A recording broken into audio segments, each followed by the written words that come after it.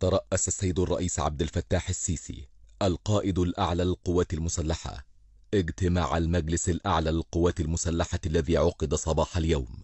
حيث تناول الاجتماع استعراض تداعيات الحادث الذي استهدف عددا من شهداء الوطن من رجال القوات المسلحة خلال أدائهم الواجب الوطني.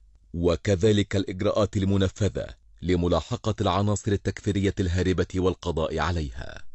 وقد وجه السيد الرئيس بقيام عناصر إنفاذ القانون باستكمال تطهير بعض المناطق في شمال سيناء من العناصر الإرهابية والتكفيرية وكذلك الاستمرار في تنفيذ كافة الإجراءات الأمنية التي تسهم في القضاء على الإرهاب بكافة أشكاله.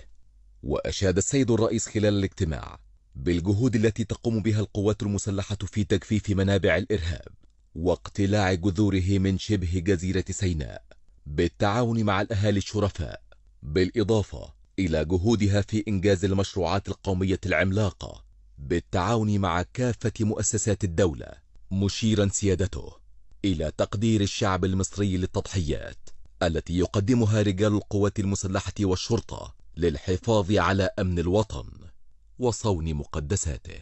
كما تم مناقشة عدد من الملفات والموضوعات المتعلقة بأنشطة ومهام القوات المسلحة وجهودها في حماية الأمن القومي المصري على كافة الاتجاهات الاستراتيجية للدولة.